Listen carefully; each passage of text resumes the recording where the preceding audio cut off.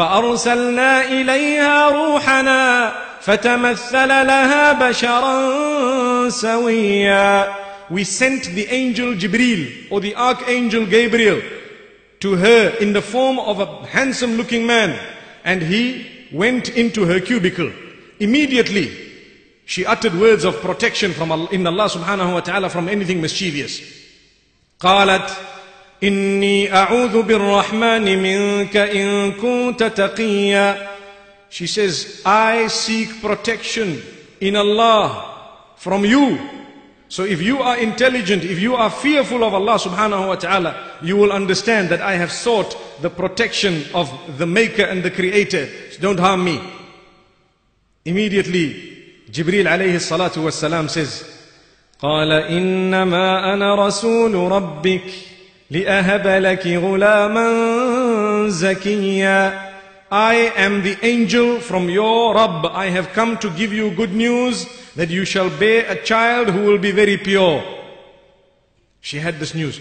Now she is shocked, she is surprised, she is still listening to the information. Let's look at how it was worded in another place in the Quran. In Surah Al Imran, Allah subhanahu wa ta'ala says, إذ قالت الملائكة يا مريم إن الله يبشرك بكلمة منه When the angels told Maryam, Mary, the daughter of Imran, that Allah is giving you glad tidings of a word from Him. What is that word? We spoke about it yesterday. Kun, be, and it will be. The word is kaf and noon. We said yesterday, amruhu bain al kafi wa noon. The instruction of Allah is between a kaf and a noon. Once those words are uttered, be, it automatically is. So we are giving you good news of a word from Allah subhanahu wa ta'ala. And it will be a sign. There will be a child. We are naming him from now. So she is being told this already while she is sitting in her own seclusion.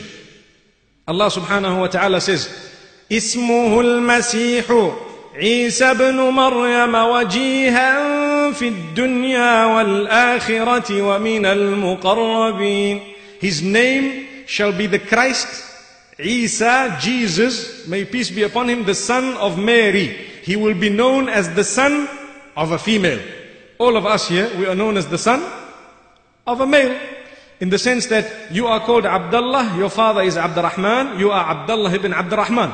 You are Abdullah, the son of Abdurrahman. However, when it comes to Isa, he was known by his mother's name. Isa, the son of Mary.